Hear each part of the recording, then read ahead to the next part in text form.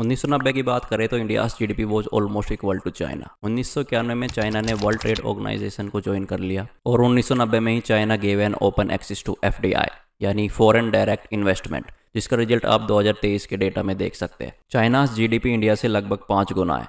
सिर्फ़ तीन डिकेट्स में चाइना इतना ग्रो कर लेगा, इसका किसी को आइडिया नहीं था। वैसे तो इंडिया और चाइना दोनों ही एंशियंट सिविलाइजेशन है। एक टाइम था जब दोनों देशों का जीडीपी शेयर वर्ल्ड इकोनॉमी का 50 परसेंट हुआ करता था। दोनों कंट्रीज़ के ट्रेड रिलेशन काफ़ी अच्छे थे। बुद्धिस्ट टीचिंग लेने चाइना के लोग इंडिया आते थे तो फिर ऐसा क्या कारण बना कि इंडिया चाइना के रिलेशन खराब होने लगे? वीडियो में आगे बढ़ने से पहले अगर आप चैनल पर नए हो तो सब्सक्राइब करना ना भूले।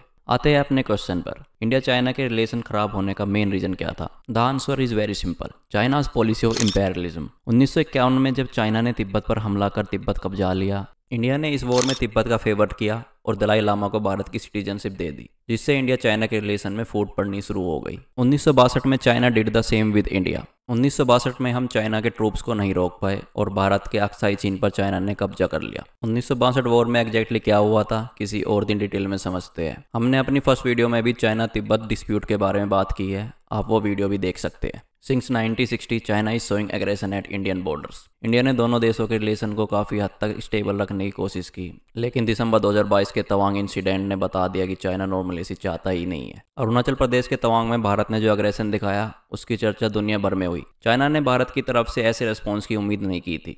Within minutes our air force was activated और ग्राउंड पे हमारे जवान ने चाइनीज़ इंट्रूडर को मुँह तोड़ जवाब दिया। So this is how India China clash began आप समझते हैं उन की फैक्टर्स को, जिस वजह से चाइना इंडिया से डरता है। India as a new manufacturing hub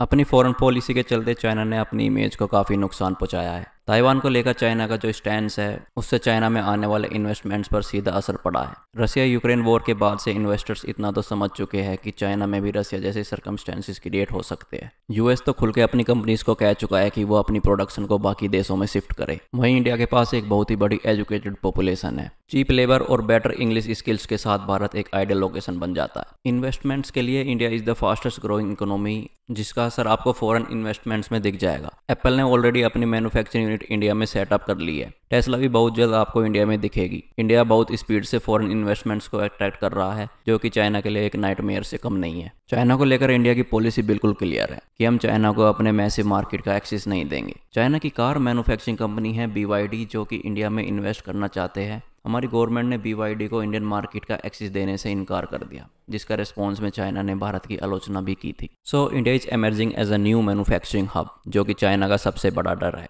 next factor है इंडिया यूएस टाइस।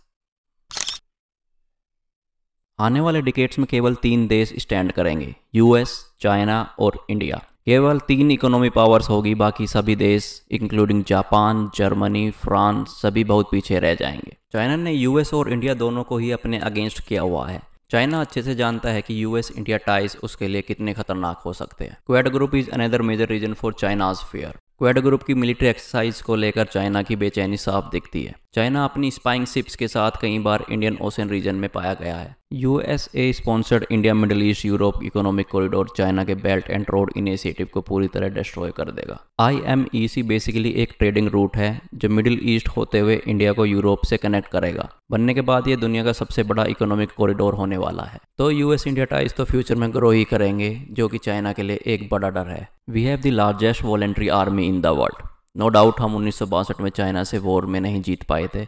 लेकिन अभी 2023 की बात करें तो हमारी मिलिट्री के पास ज़्यादा वॉर एक्सपीरियंस है which matters a lot US France Australia और लगभग हर कंट्री के साथ हम मिलिट्री एक्सरसाइज करते हैं which keep our military updated and ready to fight weapons की बात करें तो we have state of the art weaponry system Philippines China का एक राइवल कंट्री है और फिलीपींस को ब्रह्मो नेवल वर्जन बेचकर हमने चाइना को एक क्लियर कट मैसेज दिया है। इंडिया की चाइना किलर मिसाइल यानी कि अग्नि फाइव की टेस्टिंग के बाद चाइना ने यूएन में खूब हल्ला मचाया। चाइना की एक बड़ी वीकनेस है मलाका स्ट्रेट यहाँ से चाइना की मैक्सिमम शिप्स निकलती है। In a war like scenario India can choke the Malacca Strait जिससे हम चाइना की सप्लाई चेन को कट कर सकते हैं। और हम इसका डेमो उन्नीस सौ इकहत्तर इंडो पाकिस्तान वॉर में दे चुके हैं। So Indian military is another cause for China's fear China ने अपनी डेवलपमेंट की नींव रखी है at the cost of human rights और हमने डेमोक्रेटिक वैल्यू के साथ आगे बढ़ने की ठानी है। मेरी तरफ़ से यही अपील है कि आप सभी भारत की डेवलपमेंट में अपनी हिस्सेदारी दे। भारत को एक स्ट्रॉन्ग और प्रोस्पेरस नेशन बनाने का कमिटमेंट ले। आपका क्या मानना है? लिखिएगा कमेंट्स में। और अगर आपको हमारी वीडियोस पसंद आ रही है तो लाइक शेयर करें। आप में से 90 परसेंट लोग सब्सक्राइब नहीं करते हैं तो प्लीज़ चैनल को सब्सक्राइब करना ना भूलें। मिलते हैं एक और शानदार वीडियो के साथ। धन्यवाद।